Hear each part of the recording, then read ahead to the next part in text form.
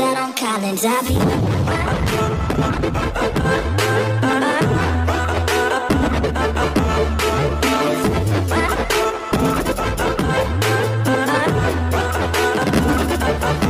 السلام عليكم ورحمة الله وبركاته متابعينا الغاليين كيف حالكم إن شاء الله تكونوا بخير اليوم معنا مقطع جديد آه، المقطع عبارة عن آه، تلميع خارجي لسيارة آه، بوية جديدة ولكن آه، طبعا اللي صار إنه اللي آه، اللي رش البوية طبعا آه، بعد ما يرش طبعا لازم يلمع السيارة. لما السيارة بس لمعه بظاهر لمعه ببولش خشن فقط. فلما لما ببلش خشن فقط طبعا زي ما أنتم شايفين لأنه السيارة لونها أسود. الشيء هذا يتسبب في خدوش في البودي. وفي نفس الوقت آه، يعني طفت اللمعة بشكل آه، كامل. يعني زي ما يقولوا في المثل آه، جاي يكحلها عماها. فشوفوا كيف بالله عليكم التموج. لأنه استخدم البفر الصوف مع سيارة لونه غامق. السيارات الألوان الغامقة عموما الأسود الكحلي ال- النابي الألوان الغامقة عموما ما تستخدم معها البفر الصوف لازم تستخدم معها بفر اسفنج وسط أو اسفنج خشن. فشوفوا. شوفوا إيش صار في بول السيارة. طبعا السيارة كلها كلها زي ما أنتم شايفين حتى السقف كلها صارت مموجة وطفت اللمعة بشكل كامل. فجاب لي إياه أساس أصحح له اللمعة وأرجعها آه، على لمعتها الطبيعية من تاني. فتابعوا المقطع. آه، راح أوريكم طبعا راح أقسم الكبوت أنا قطعتين أساس ما أطول عليكم لأنه في فيديوهات تلميع كتير في القناة. إذا تبغى تعرف بشكل يعني أوسع أو بشكل آه، كامل شوف أي فيديو من فيديوهات التلميع اللي في القناة. بس هذا أنا بس أسوي لك عينة في الكبوت يعني بصور آه، بقسم الكبوت إذا إلى جزئين وبلمع جزء وبسيب لكم جزء. بحيث إنه آه، نقارن ما بينها ونعلمكم الطريقة آه، كيف ترجع وكيف تلمع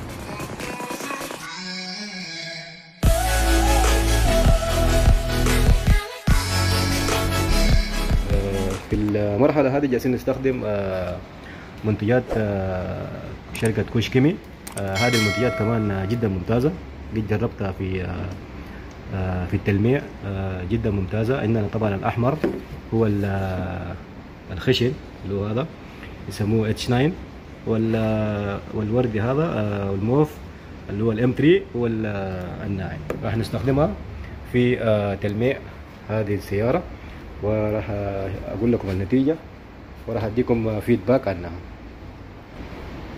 آه، هنا طبعا مرحلة التلميع حطينا ال polish وبنوزعه على ال body زي ما أنتم شايفين. نستخدم طبعا آه، ال- الماكينة الماكيتا ما أنتم شايفين مو مو ال dual action ال dual action ما ينفع مع الحالة هذه. يفضل آه، تستخدم الماكيتا مع البفر السفنج الخشن والبولش الخشن زي ما أنتم شايفين بهذه الطريقة.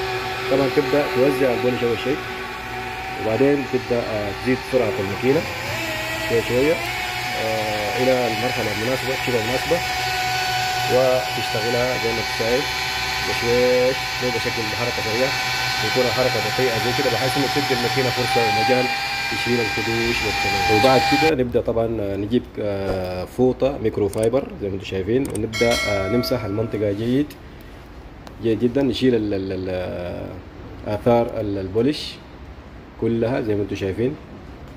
يفضل بعد كده نحط طبعا ال wax. دحين أنا بحط ال wax وأرجع أوريكم النتيجة كمان. نشيل نسوي لها wax عشان نشيل آثار ال- ال- ال- ال polish اللي زي كده. البهتان حق ال polish لأنه ال polish زي ما قلنا ما يدي اللمعه النهائية. ال wax هو طبعا وظيفته يشيل آثار ال polish من على ال body ويصفي اللمعة ويبين اللمعة بشكل أوضح. زي ما أنتم شايفين هنوزع ال- ال wax آه، بالإيد طبعا يدويا. ما نستخدم مع الماكينة. تمسحه زي كده على كامل المنطقة اللي انت لمعتها وتخلي ال wax آه، ينشف. وبعد كده ترجع آه، تمسحه بفوطة آه، micro fiber زي ما هنشوف بعد شوية. زي كده طبعا بعد ما ينشف ال wax نرجع نمسحه بفوطة زي ما قلت لكم micro fiber لازم يكون الفوطة تكون مصنوعة من آه، ال micro fiber لأنها إيش؟ بتكون ناعمة وما بتسبب خدوش ما تستخدم ال- الفوط المصنوعة من الخيط. أو الفوط الحمراء المعروفة عندنا. أو ال- البيضة هذيك اللي يستخدموها في المغاسل. استخدم فوطة micro fiber يكون أفضل بحيث إنه ما يسبب لك آه، أي خدوش زي ما أنتم شايفين. خلي اللمعة صافية زي ما أنتم شايفين. طبعا تحاول تمسح ال wax برضه مظبوط لأنه آه، فيها مادة مادة زيتية. عشان ما تكون على ال- ال body نشيل الشريط دحين زي ما شايفين. الفرق طبعا واضح حتى من غير ما أشيل الشريط بس هنشيل اللصق. شايفين الفرق هنا؟ هنا. طبعا واضح وما يبغى له كلام. زي ما شايفين؟ هذا اللي في النص. طبعا أثر الشريط. شوفوا الفرق جدا واضح.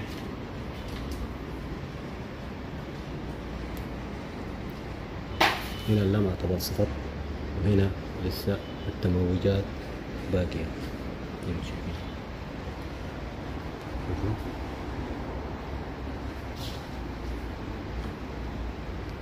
واضحة يعني ما يحتاج. زي ما شايفين. هثبت لكم الكاميرا عشان تشوفوا بشكل أوضح.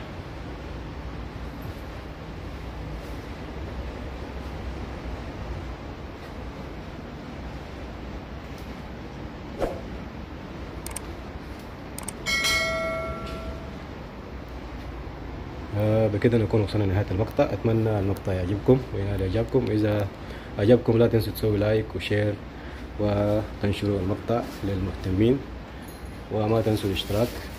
وأشوفكم مقطع ثاني والسلام عليكم ورحمة الله وبركاته.